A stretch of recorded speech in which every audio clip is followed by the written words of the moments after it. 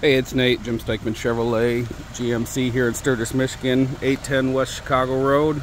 Today we have a 22 Cadillac XT5 Luxury, 13,000 miles on it. Give us a call, 269